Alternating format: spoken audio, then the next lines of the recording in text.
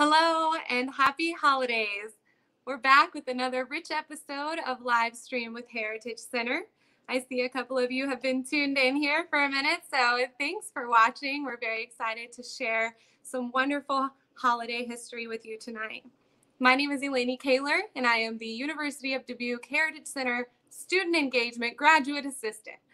A lot of words, I know. Seems like as you move up in the world, your title gets a little shorter. I'm getting there. Tonight with me, I have a couple of special guests whose titles are quite short. And without further ado, I'll go ahead and introduce them. First off is our executive director here at the Heritage Center, Mr. Tom Robbins, and the man you've been waiting to see, our special guest, actor Patrick Dewane. I'll go ahead and bring Tom on first. Let's have him. Hello, Tom.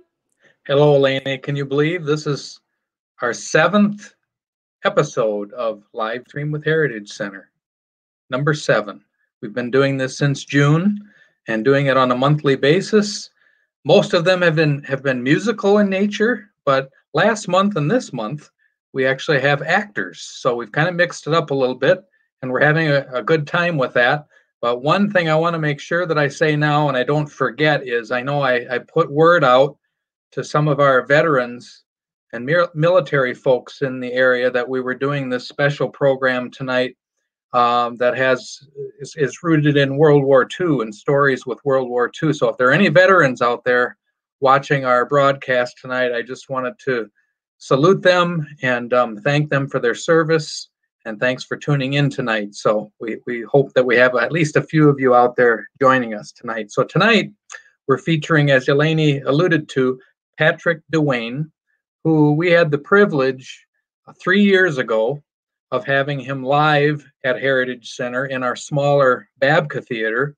And he performed a title, uh, an original show that he put together, produced, and wrote um, called The Accidental Hero and uh, we had a great time with that. I think we had full houses, two full houses with that, with those performances back in in 2017. But we have Patrick here tonight. We're going to ask him a few questions before we launch into some excerpts of of a new show he has for us tonight. So let's bring Patrick on.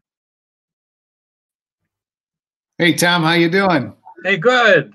Thank you. I know as we talked off screen, it's been a busy day because you're not only uh, performing for us tonight, but you've already had a show earlier today, correct?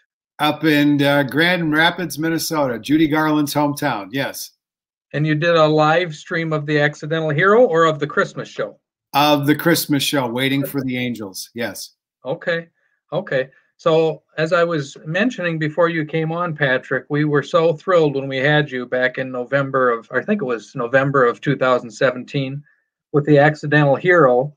And as as I read your biography and read like some of the credentials, you you're probably in the multiple hundreds in terms of how many times you've done the accidental hero, aren't you? Yes.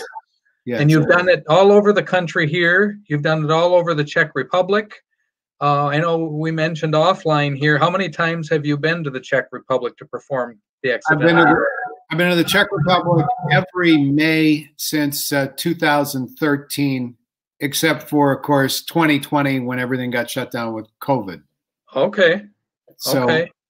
They they invited me back after the first year, and now I'm kind of in the Czech mafia. I couldn't get out if I wanted to. You've become a hero of theirs as well, I'm sure, over those they treat years. me very well. Thank you, thank you to my grandfather, and and right. thank you again. I mean, you mentioned there might be some vets. Thank you for your service. My grandfather was a lieutenant colonel in World War II uh, so our family was touched uh, by his service, and uh, I thank all of you. When did you um, debut the Accidental Hero? Well, let me step back.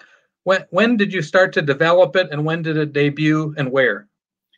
It was about ten years ago that my sister found my grandfather's writings that no one knew about in my aunt's basement and she handed them out as for as Christmas presents, maybe a dozen years ago. And I couldn't I couldn't believe what, what I was reading. Grandpa refused to talk about the war uh, when I was growing up. I would beg him for war stories. I loved war movies, but he wasn't talking. So I have the nuns at school imagining what it was like, you know, telling me about the war. And then this guy who was there, he wasn't talking. Of course, I didn't understand why that was. I, I, I now have a much better idea uh, wh- why that was. So she found this, handed it out as Christmas presents. And then, uh, and then I would tell bits of it like at parties or to friends, and people would always say, That really happened? I'd say, Yeah. And they say, Someone should make a movie out of that. I said, Yeah, someone should. Yeah. And then one day, one day the voice said, What are you waiting for? Right. And I'm like, What do you mean? Is to write a script. I'm like, uh, what, write a script. So to quiet the voice, I wrote a script. Uh, I I read it first. I read it for about a year to different groups, uh, and then I got a gig at the University of Notre Dame.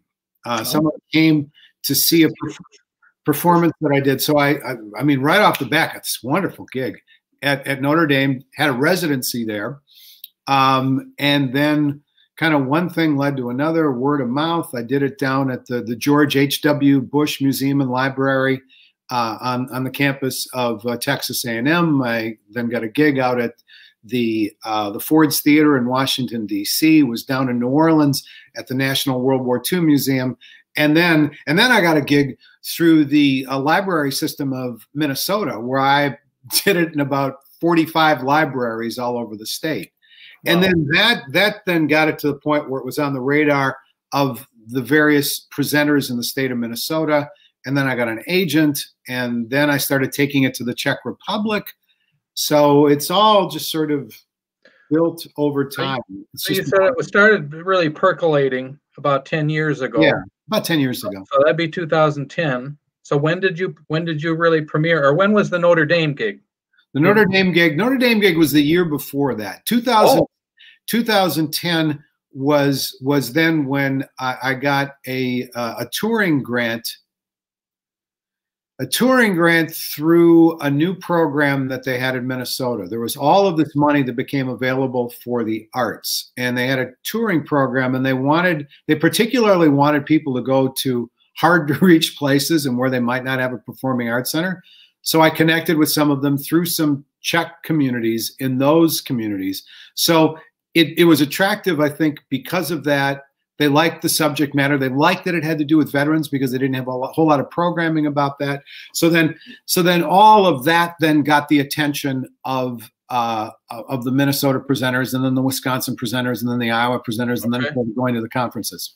Well, before we launch into the first excerpt of of a new show that you've developed, kind of a sequel to the Accidental Hero, for those who weren't fortunate enough to be there with us at the Heritage Center three years ago, can you give us kind of a little Cliff Notes version of The Accidental Hero? Would love to, Tom. It's about my grandfather, uh, Matt Konop, who uh, grew up on a farm in Wisconsin where Czech was his first language. He didn't learn English until he was six, and that's that's germane to this whole story. So he ends up being in the uh, Second Infantry Division. Came across on Omaha Beach. Ended up being a hero in the Battle of the Bulge. Uh, he had to lead a group of cooks and drivers to stop an SS Panzer tank uh, attack. Uh, and then um, on near the end of the war, the, the end of April, uh, his division of all of the divisions in the army was given the assignment to liberate southern Czechoslovakia. They were moved under George Patton's command, and my grandfather, because he spoke fluent Czech, was given the assignment to be the commander of the advance party to go ahead with 500 men ahead of the rest of the division, the 200 miles down to the Czech German border behind enemy territory. Uh, he thought that the war, he knew the war was just about over. So he thought he was, in fact, packing his bags. And then he gets this assignment where he's got to go behind enemy lines. So he thought, oh, what bad luck. Well, he gets there, gets to the border, and he sees that the closest village to where they were camped, the closest Czech village, a little dot on the map of a few hundred people called Klenčí. And he recalled that that was his grandmother's home village. And then he realized that all four of his grandparents came from this little region of, of Czechoslovakia. So he decides that because he's in charge, he's the head of the 200 guys that are there, that he's going to go ahead of them on his own into Czechoslovakia just to see what it's like. ends up stumbling across a meeting of the local resistance in his grandmother's hometown, the first American they've ever seen. And he tells them, not just in their language, Tom, but use in their dialect, using terms that only they use, right? The first American they see, they're blowing their minds. And and then they ask him, Are, are you from here? He said, Oh, my my my grandparents were from Klenčí and Mrákov. And then they're like, We're being liberated by one of our own, right? Yeah. And then two days later, he gets to the main square of the capital district and they're waiting for him. Word had spread. Banners are up with his name on it in Czech saying, uh, he is our liberator. Matt Konop is, li- we are liberated by one of our own. And then they, then here, you can see this is my iPhone case. Yeah. They picked him up, put him on their shoulders, and paraded him around town saying, We're liberated by one of our own. He had grown up wanting to just sort of distance himself from his Czech background thinking that you know he wanted to be a real American, uh, and then he came face to face with the truth of of where he was from and who he was, and then he embraced it the rest of his life, which didn't make any sense to me when I was growing up. I think I told you off camera that I was told that I was German, Irish, and Bohemian. And where is Bohemia on the map? When you're a kid, if it if it doesn't make sense, you just think adults. They eat weird things, they listen to bad music, and they say things like Bohemia. Um, so I didn't have, I didn't know anything about it, and had no interest in it. Well, um, and and thus that's why you had to discover things in his basement, probably after he had passed, I assume. Twenty years, okay. twenty years after he passed. He oh, also wow. he had one of these, uh, a handheld Kodak movie camera.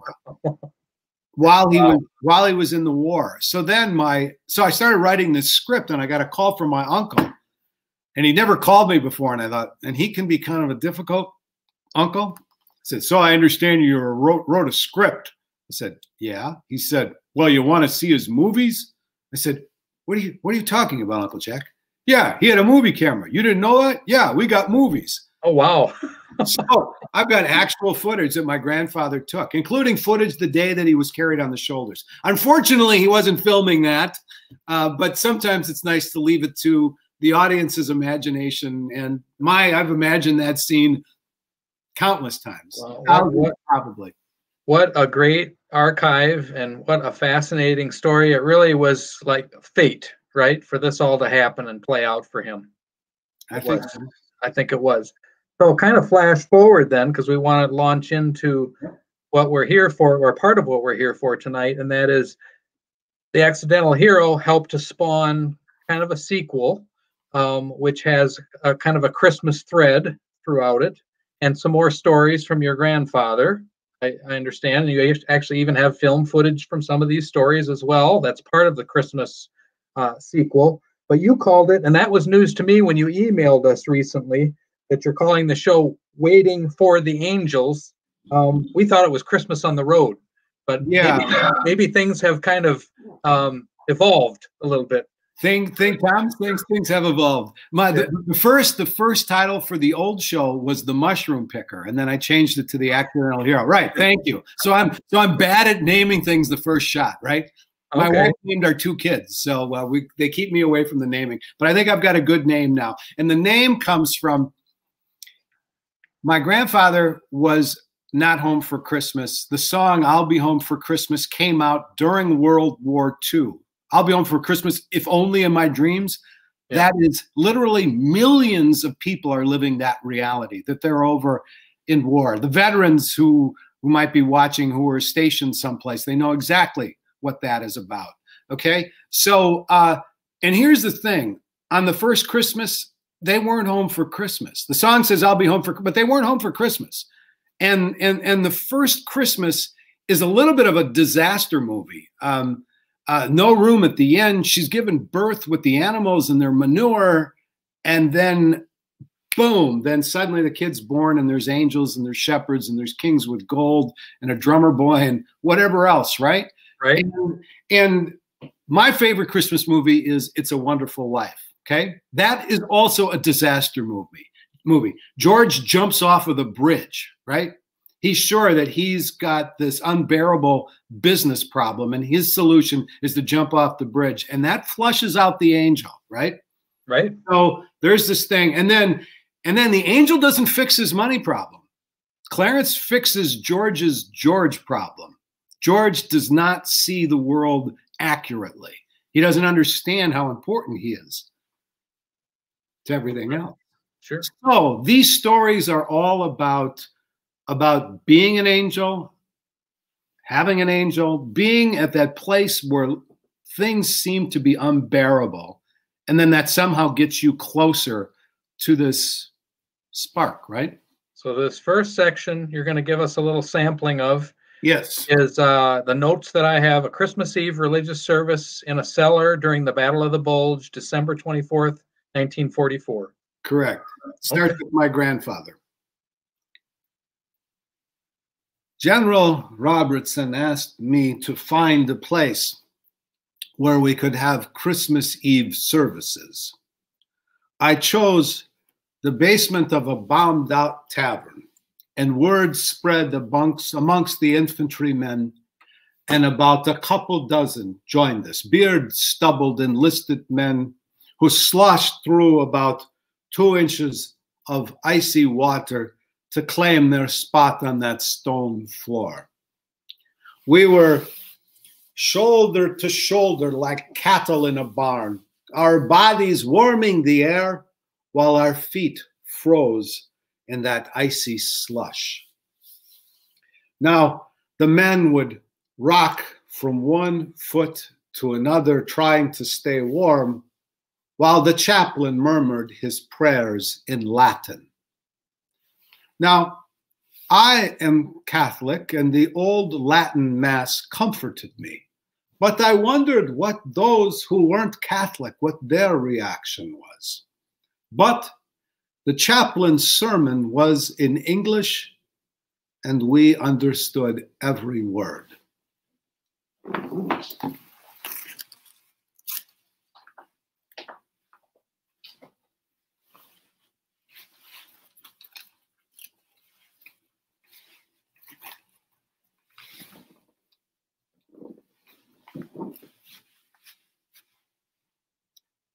My friends,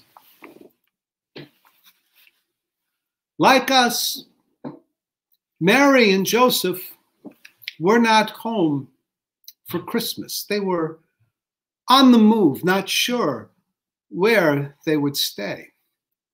And 2,000 years ago, childbirth was a most dangerous situation for mother and child, particularly when it happened in a barn. Why were they alone? Where were their families? And when the innkeeper told this pregnant young woman and, and her helpless husband that there was no room for the inn and told them that they needed to stay the night in a barn to give birth surrounded by animals and no doubt their manure, well, I must be honest with you. I have never liked these crude and cruel details of our Merry Christmas story. Who makes an entrance in a barn? Today, maybe this makes a little more sense. We, after all, are not home. Our families aren't here. And we are also in the midst of a most dangerous situation. Who among you would choose to spend Christmas here? Not standing in manure, although that does sound warm, doesn't it? No, we are standing in slush, and many of you will sleep in the snow tonight, much like the child who slept in a manger, which is just a fancy term for a feeding trough for a cow. I watched you this morning as you as you came down from those hills like the shepherds in the story to come here to celebrate what? A birth in a most unlikely place, light coming in at the darkest time of night. We are all here to celebrate the Prince of Peace. in the middle of a battlefield. My friends,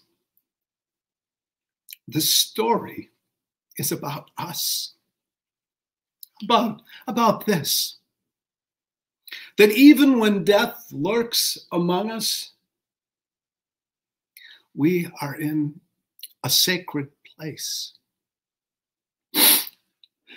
So before you go back to your weapons, and I go back to anointing the foreheads of the dead. Oh, let us find peace. Men, Merry Christmas. Let us pray.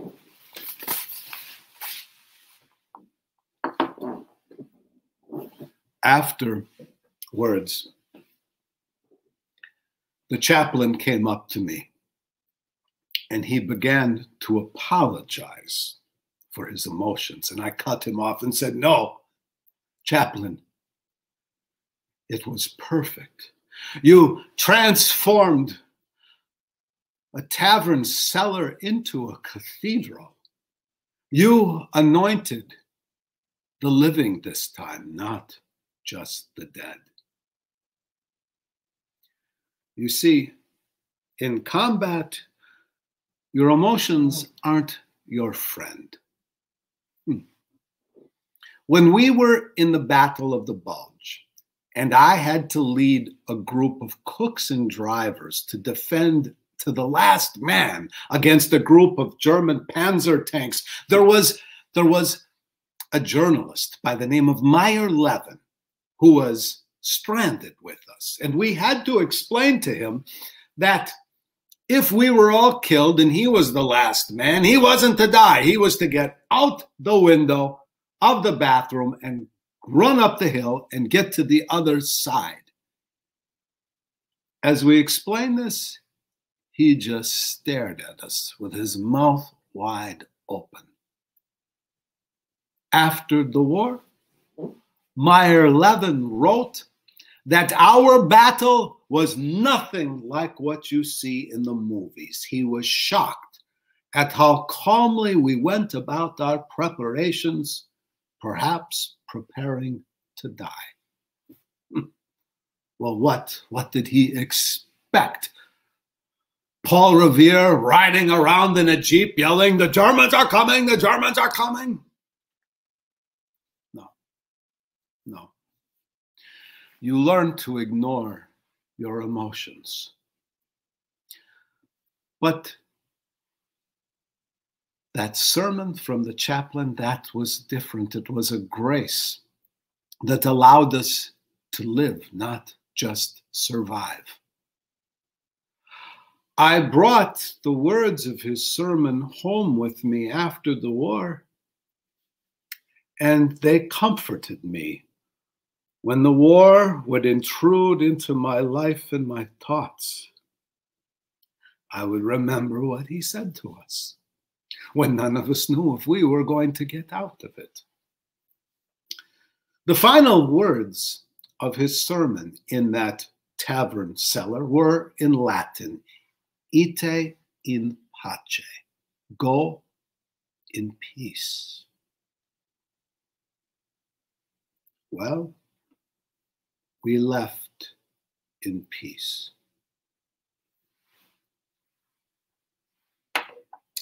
Thank you. Uh, very moving and insightful at the same time.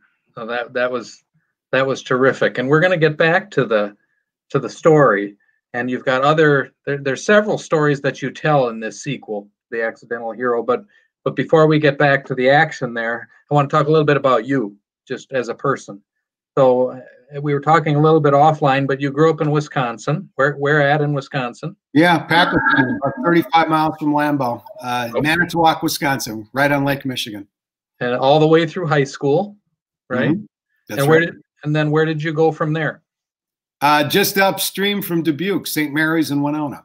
Oh, That's where I went to college. Yeah, I'm I'm definitely familiar with that. And you now reside in Minnesota, near the Twin Cities, or where exactly? Right in the Twin Cities. Right. Okay. Right. And you know, I I asked this question, and I don't mean to, for this to be offensive at all. I hope it won't be uh, offensive. But do you consider yourself an actor by trade? I consider myself to be a storyteller by trade. Okay. And the acting is part of that. Um, definitely. I mean, you're you're very convincing and very talented. I mean, we saw that firsthand with a live show, and I'm glad, even if this is something that you're kind of doing post retirement, that you've decided to take it on because you're impacting a lot of lives through the story and and and and through your grandfather's memory. Um, but tell us a little bit more about wh- where your life path took you up up through the accidental hero. Sure. Well, I I, I want to go back to something Eleni was saying about how long her title was. Eleni, my first job when I was when I was in grad school in New York, I was the development and marketing systems coordinator. what a dumb it hard to be mouthful that was. I needed to have a business card about you know the size of a Hershey bar. Yeah, I need an index card. so so I, I moved to New York after after undergrad and uh, uh, got for graduate school and got a uh, master's of fine arts through the theater program at Brooklyn College. Um, and uh, my my focus was in arts management, but I'd been involved in theater in high school and in college. It's what I loved. We're So very similar boats there. That's really, I think all three of us are. Well. really. Yeah. so and, and when i got to new york and i thought oh well maybe maybe i'll get discovered and then i realized that any given restaurant in new york city had actors that were better looking more talented and could sing and dance better than i could. And i thought well this is a ridiculous dream. This is just never going to happen. And then my grandfather's story came along. And uh, I, I think that I needed to have the life experiences to be able to write my grandfather's show and to do that story uh, well. Um, I was fortunate to see all kinds of performances when I lived in New York, and then I moved to Philadelphia, and then here in the Twin Cities. So I was always going to see things. And I, I when I lived in New York in, in the in the 80s, I particularly liked going to uh, what they called performance art, right? It was Yeah. Spalding Gray was an Eric Bogosian, these sort of one man shows, uh, which were edgier. I mean, they were weird sort of Yeah. thing. Mine isn't edgy other than it's dealing with edgy, edgy material, right? I mean, you're talking about life and death. Um, so, and I would go there and I'd always have this voice that would say, you could do that. You could do that. And I thought, ah, right. Well, hearing And you say that is extremely reassuring. I've, I mean, I've already feel like I've learned so much from you. So it's great to hear you share these stories um, and your personal ones as well. It, there's hope out there for kids Yeah. like us, I guess. yeah yeah and, and when i got into fundraising i mean it's that's storytelling as well i mean you're you you have to be able to tell a compelling story and you have to be able to engage your your donors they have to really buy into what you're doing yeah. and I, I used to tell my staff I was the head of fundraising at Minnesota Opera for 10 years and did some capital campaigns. And I used to tell them, look, we can't be boring. We they are they're coming from their boring lives to see opera. We need to be operatic. We need to Yeah. engage. This is about this is about the human condition. So uh, yeah, no, there's there's always a, a dramatic element to, to what I was doing. Well, I No, it- love that perspective. I, I that's that's just wonderful to hear. You put a smile on my face for the rest It- of the year. it's- It's interesting to hear that, Patrick, because this semester I had a, a student I did an independent study with, kind of an intro to arts management, and we talked a lot about the story. Uh, you've got to have your story ready. Everybody's got to be on the same page with the same story, and uh, it's got to be compelling, right? That's what fundraising in the arts or fundraising for any cause. That's what it's Right. all about. No, they and, and and you can't just write it and say this is what it is, right? I mean, there's a there's a workshopping of the story, and you need your cast to really buy into it, right? Uh, whether that's your volunteers, your donors, your staff, just because you say it's going to be this, right? And it's like I'm the leader. Hey, anybody seen where my followers went? We've got to have you come down and do a seminar just on that topic. No I'd love to, please. But, but, in in essence of of time here, I want to get back. Speaking of the story, um, we want to go to kind of part two, an excerpt of of the sequel, the Christmas sequel to the Accidental Hero, and this one is going to tell us the story of. Thanks, thanks, Eleni. This one is going to tell us the story of the American Saint Nick and I'll let you take it from there. Okay, I'll, I'll set this up because um, the American Saint Nick happened in uh, just 40 miles from my grandfather's Christmas story, roughly the same time. In the country of Luxembourg, the big thing for the kids is the Feast of St. Nicholas. You know, Jolly Old St. Nicholas, now you dear old man. Okay, very popular in some European countries. So when when the Americans got to this little town of Wiltz, Luxembourg, and they found out that Hitler had banned St. Nick, right, for four years. It's just like the Grinch who stole Christmas. Hitler stole Christmas from these kids, also stole their fathers because all the fathers were dragged into the German army or they were killed. So these poor kids, right? So, so these soldiers get there and then they decide, hey, we're bringing St. Nick back. So there was a guy that they dressed up as St. Nick. They put him in a Jeep and it's a story that they, they made whoops they they made you can see there there he is in a jeep. And and he's dressed up you know with with the hat. And i you know i, I wear this goofy hat right? This guy by the name of richard brookins. So then so then for a day they do this thing right? And they give out candy and donuts and they took everybody's hot chocolate or uh, hershey bars and melted them down in a hot chocolate. So they do this for a day and then um, and then they just sort of forget about it and they move on. And then that town gets leveled. And um, but the guy who played saint nick comes back to the states lives a normal life. And then uh, that's where where we will pick things up. I will be playing the guy who played uh, saint nick. So I get a letter, 1977, international airmail with the return address of Wiltz, Luxembourg. Inside, eight pages, handwritten in a foreigner's version of English. This guy had a lot to say to me. He told me, first off, that 80% of the town of Wiltz, Luxembourg got leveled at the end of the war, got caught in a crossfire of the Americans trying to get the Germans the heck out. The, the, the civilians that survived needed to live underground in a cellar or in a, in a basement. The school got bombed and destroyed, hospital completely destroyed, 80% of it just gone. I didn't know this because we had moved on. The letter writer then went on to say that after the war, they rebuilt brick by brick the entire town the way it was.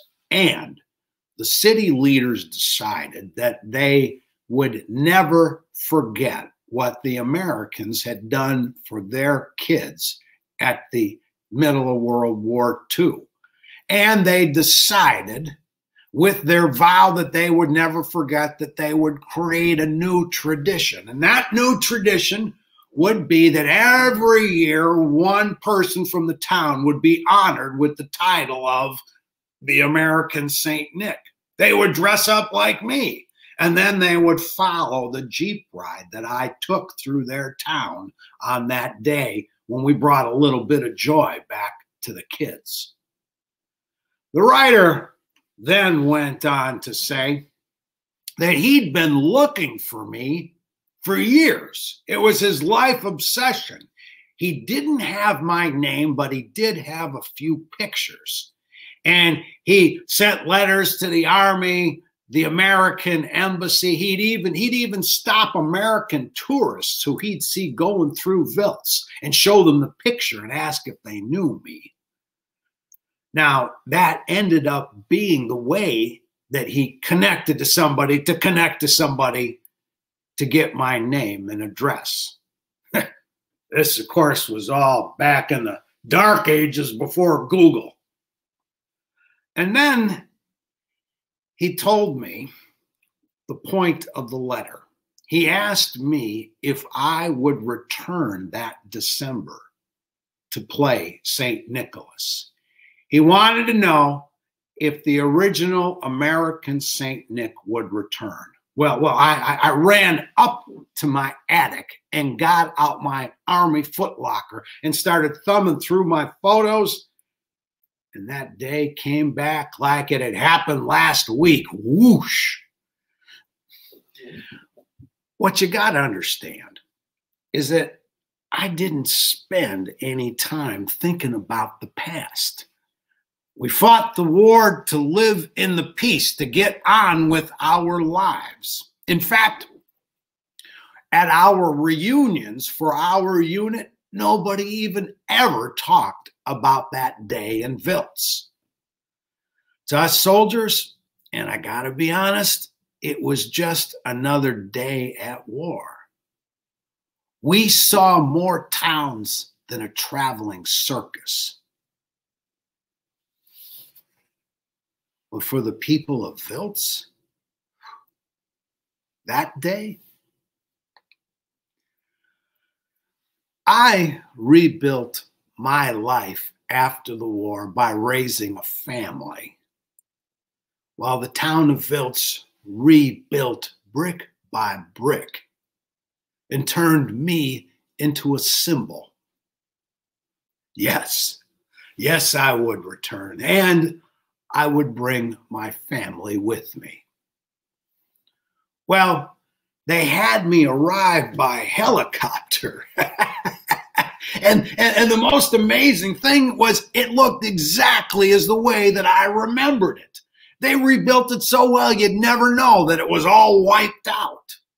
I was wearing the costume. They had me go through town in a parade, waving, waving. I'd never signed more autographs in my life. Then there were two women at one point who were walking toward me smiling like they knew me. Turns out they were the two girls from the local girls' school who were my angels, rode with me in the Jeep when we brought back St. Nick. they were now grown women themselves with their own kids. Then they surprised me by having my my best friend in the war, my roommate Harry Stutz, the guy who was the grand producer and mastermind behind the American St. Nick. It was like it was like I was living in a Hollywood movie. They then invited me back every year, and I went many, many times. One year, they made me an honorary citizen of the Grand Duchy of Luxembourg. Another year, they dedicated a statue to me in a park in Wiltz. You can tell it's me because in one hand, I'm holding on to my helmet. and they've got my glasses on that statue as well. And then on one of the last trips back, when I was on oxygen and had and had a cane, they gave me Luxembourg's highest military honor, not for killing Germans, but for doing something kind for their children. Thank you.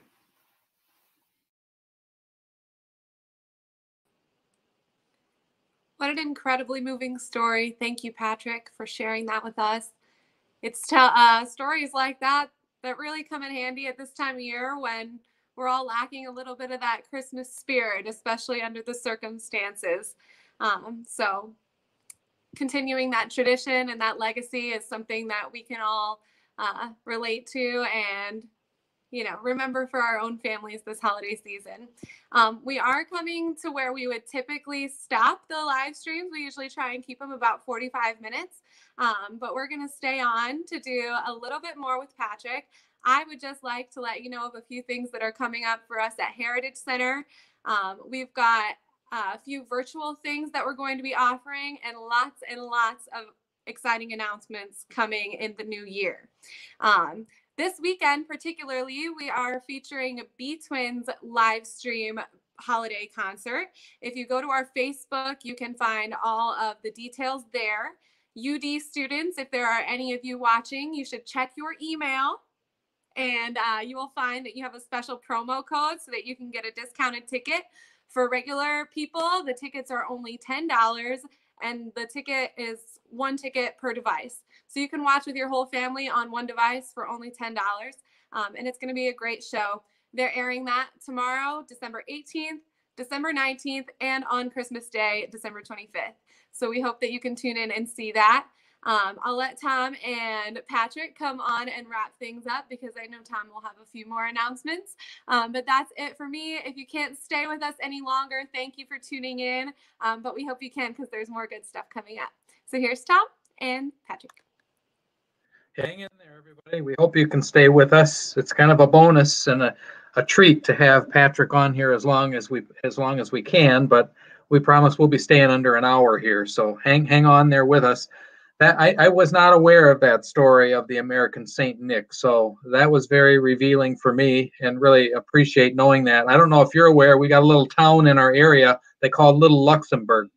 No, it's a town called Saint Donatus, so another saint. Um, a little little hamlet and some very rich history there of where the folks from Luxembourg settled in Iowa. So that's just down the road a few miles from huh. Dubuque. So, well, next time you come to Dubuque, which we hope, and that's actually something I wanted to say, is that this this sequel to the Accidental Hero called Waiting for the Angels. Um, perhaps sometime in the future we'll be able to host you again and have you do that do that show at the Heritage Center. I'd love um, we would love that. We're trying not to give too much of it away tonight. Um, they're just seeing what I, they're going to end up seeing maybe 20 minutes of, of the performance. And is it a full 90 minute show, kind of like your Accidental Hero, or yeah, like I, I, I might trim a little bit of it. It'll be at least it'll be between seventy and ninety minutes. Okay, and I think I alluded earlier that there's actual film footage from from your grandfather's collection. That's part of that show as yeah. well. Yes, my grandfather's footage, and then also there's wonderful army footage of the accidental of of the uh, uh, American Saint Nick story. Okay. Okay. So you well, see them handing out the donuts and the and the candy, and he's there tapping the kids on the forehead and the whole bit. It's wonderful. Well, it's wonderful. Very warm.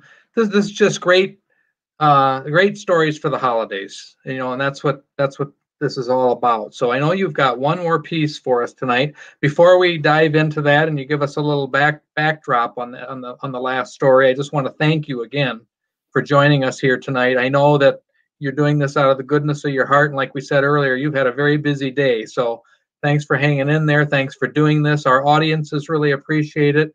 I will mention to our audiences, they probably saw a little commercial before this stream started that uh, if you care to help out the Heritage Center during these interesting times we're going through, we do have an ongoing Friends of Heritage Center campaign that help us continue to bring you these live stream events and eventually, hopefully, real on stage events as well. Um, so you just go to the Heritage Center website, dbq.edu slash Heritage Center, and you'll find Friends of Heritage Center there. But again, we, we really appreciate you doing this. I had something kind of funny, kind of an observation, Patrick, and that is, has anybody ever told you that you look like Bill Pullman? Do you know who he is? No, who's Bill Pullman? Bill Pullman. The only movie reference I can give you is uh, he was in a movie called While You Were Sleeping, which some of our viewers may have have seen that movie, but check that out because it has a kind of a nice holiday story to it as well. While you were sleeping, how, how do you spell how do you spell Pullman? P U L L M A N. He's been in many movies. I mean, I, I can't say I'm a huge fan of his, but I think he's good in that movie. Um, but you look, you have a resemblance, and actually, kind of your style and your mannerisms and your acting kind of remind me of him too. So that should be a compliment. look him up. So, I will. Thank you. And, and it's been my it's been my pleasure, Tom, to do this. I'm I am honored to be able to do it. Uh, I, I love being at, at the University of Dubuque. I love that place that you put me up in across the street. That, that oh, wonderful yeah, house. The University Guest House. Yeah, we've many a performer that we put up there says the same thing. So I'm glad you glad you enjoyed that. It's a little the best. little hometown hospitality spin yeah. that we put on things. So well, your last piece is a little bit of a diversion, right? It, it actually does it have anything to do with with uh, veterans or with um, military, or is it a totally separate sort of story? I'll, Here, let you, I'll let you take it from there, and I just want to let audiences know that we're going to end with Patrick's piece. So, Eleni nor I will come back at the end. Patrick will say what he wants to at the end of, of the of the session. Um, but we're going to end with this, and it's it's the Grinch who stole the Mayo Clinic, right? actually, actually, I'm going I'm to do something different. Oh, I'm, okay. I'm, I'm, going to do since since you've seen now the the sort of the two World War II stories from okay. World War II. I'm going to do the the piece that that connects it uh, directly to me and the family because. Okay. The, the, the whole song "I'll Be Home for Christmas." There's the home front, and then there are, are those that are away from home. So this will be talking about the home front and then and then my personal connection. So I'll be doing this just as me, the narrator of this, and about my grandfather. And and it, in the show, it comes right after that first piece that I did. So he's he's recounting his conversation with with the uh, uh, chaplain and that uh, and and how moving it was for him to have been at that at that service and he carried it with him the rest of his life.